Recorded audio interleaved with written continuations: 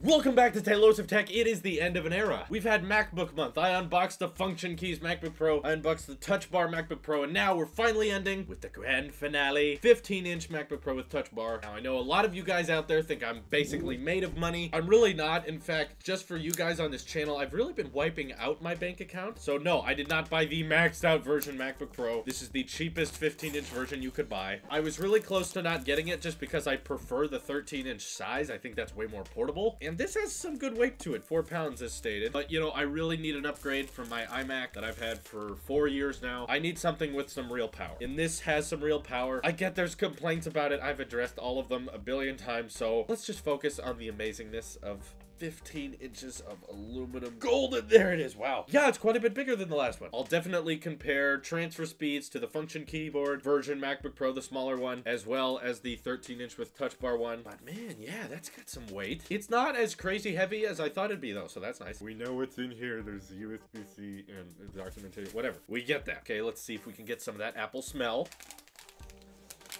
Oh, it's strong with this one almost a hint of syrup. That's weird. I don't know why I smell that. There's really some like maple syrupy smell to this. Just not bad. I'm not complaining. All right. And of course, boots up right when we open it. And for those asking out there, yes, I'm keeping this one. This one is not being sent back. Okay.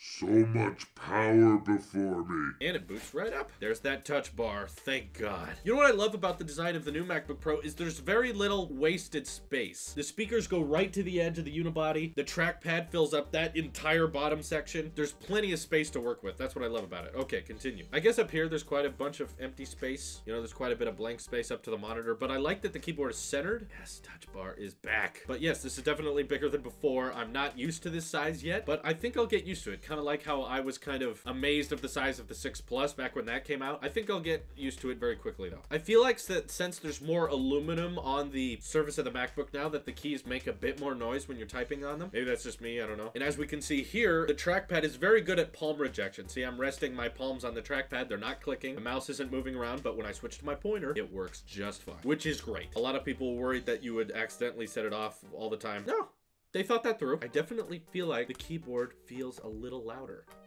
Maybe it's not, I don't know. Maybe it's just more echoey or something. You know what I'm amazed by is those people out there who still want 17-inch MacBook Pros, because to me, this feels huge. Again, I've only had a 12-inch MacBook and then a 13-inch MacBook Pro in the past, so I don't have much frame of reference, but still, it's hard to even comprehend a 17-inch version of this thing. So yeah, this has got 256 gigs of solid-state storage, four USB-C ports on the side here. Those are Thunderbolt 3, that can support 5K video output. What is it called exactly here? Radeon Pro 450 with 2 gigabytes of GG or GDDR5 memory. You know what that means. Good for you. i7 core, 2.6 gigahertz quad core. And look, the speed of the regular 13-inch Touch Bar MacBook Pro was great when we tested it. It could edit 4K footage no problem. This is double that and with an i7. So I'm really excited to see what kind of power I can throw at this thing and what can like stump it. Also, 16 gigs of RAM. That's welcome. I don't really get the people out there who really, really wanted to see 32 gigs of RAM. First of all, that's not super common on laptops. I get that's an option, but if you're buying a MacBook, you're really buying some more portability features than you are hardcore specs. And to be honest, there's not a whole lot of uses for 32 gigs of RAM. At this time, maybe sometime in the future it'll be very useful, but only if you're like a 3D modeling expert, because I render all kinds of 4K footage, 60 frames a second stuff. RAM doesn't have much to do with that. That's more about multitasking features. I think 16 is going to be plenty. I have 16 on my iMac right now. Never really have crashed it. It may have happened once or twice in the four years I've owned it. This is a laptop, so you're not going to be doing as much with this just because you have, you know, less screen space to work with. Let's see what else we got in the box just for kicks. I know it's in there. Giant old USB-C charger here. How high is this number? Is this in the 80s? 87 watt USB-C power adapter. Jeez. So should I take my USB-C to lightning cable and plug this into my phone? Or would it,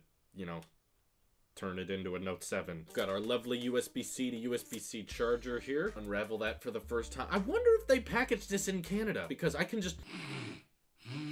I can smell it. I can smell the syrup. That's probably offensive somehow. I'm sorry. Oh, okay, here we go. We got Touch ID. Now, usually because of my psoriasis, they can't remember my fingerprint, but let's remember it for kicks anyway. I'm not getting haptic feedback like I do on the phone, but I guess it's a laptop. I can't do that. Keep going to capture the edges. Actually, I'm never really gonna log in with this because I have my Apple Watch that'll automatically log us in. So whatever. I guess it's there for Apple Pay. True. Oh, we're to the setup your Mac thing. Bring right up, please. Got this MacBook Pro. Yes, and we're booted up. Wow, what a big display. We got lots to play with now. Lots of that touch bar. That scrubbing volume. Oh, I missed that. So smooth. Open up Safari. We get those tabs in. Okay, there's too much to play with. Thanks for watching. I've got a lot to set up with this guy in terms of Adobe and different apps. And needless to say, I'm very, very excited. This is your Apple Cheap here, and I will see you in the next one.